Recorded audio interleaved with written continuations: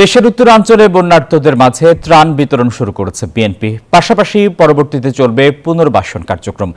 বিএনপির গুলশান অফিসে সংবাদ সম্মেলনে এ তথ্য জানান দলের স্থায়ী কমিটির সদস্য doctor A Z M Zahid Hossain.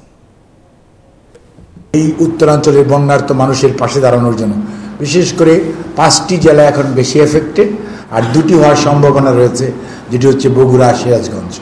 কাজেই এই মানুষগুলোকে কীভাবে জরুরিভাবে ত্রাণ সহায়তা দেওয়া যায়।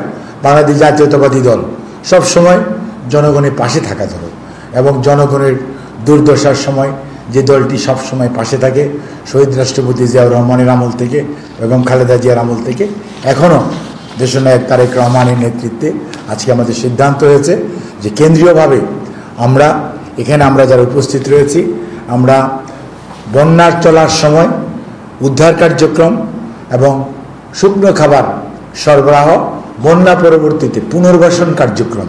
এটি অব্যাহত থাকবে। এনজিওর কিস্তি প্রথমবার বিকাশ পেমেন্ট করলেই বিশ টাকা ইনস্ট্যান্ট ক্যাশব্যাক